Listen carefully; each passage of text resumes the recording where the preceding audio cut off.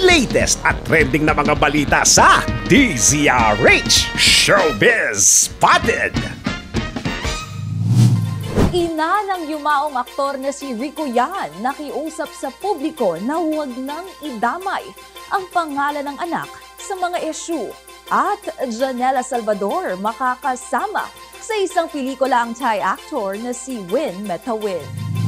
Naglabas na ng pahayag ang ina ng yumaong aktor na si Rico Yan matapos ibunyag ng dating sexy star na si Sabrina M ang di umano'y naging relasyon nila ng aktor noong nabubuhay pa ito.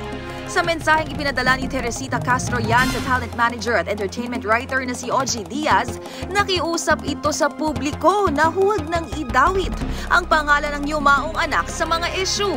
Anya, hindi lamang unfair kundi disrespectful din para sa kanyang namayapang anak na madamay pa sa ganitong mga klase ng kontrobersya ngayong wala na ito sa mundo para itanggi o i-acknowledge ang naturang mga pahayag. Sa huli ayon kay Mrs. Yan, tigilan na raw ang pagdawit sa pangalan ni Rico para sa anyay pansariling intensyon. Naungkat ang issue matapos ibunyag ng dating sexy star ang di umano'y naging lihim na relasyon nila ni Rico Yan na alam din daw ng aktres na si Claudine Barreto. Bagay na pinabulaanan ng kampo ni Claudine at hiningian ng public apology si Sabrina M. Pero ang dating sexy star nanindigan sa mga binitawang pahayag. Magunitang March 29, 2002 o mahigit 21 taon nang nakalipas mula noong pumanaw si Rico Yan. Samantala sa iba pang balita, It's official! Bibida sa isang pelikula ang aktres na si Janela Salvador at Thai actor na si Win Metawin.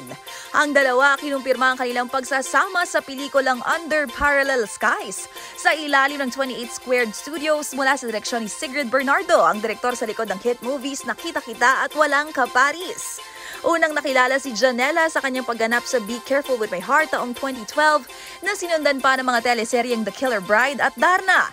Habang si Win naman ay nakilala sa bansa matapos ang kanyang hit Thai romantic comedy drama na Together the Series at F4 Thailand Boys Over Flowers.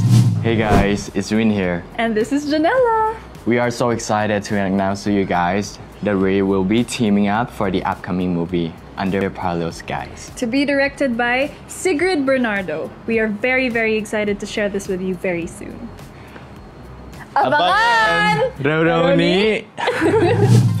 At yan ang DZRH Showbiz Hottest News mula sa kauna-unahan sa Pilipinas, DZRH, ito po ngayong Showbiz Angel. Tuloy-tuloy sa pagbabalita, tuloy-tuloy sa serbisyo, sama-sama tayo, Pilipino.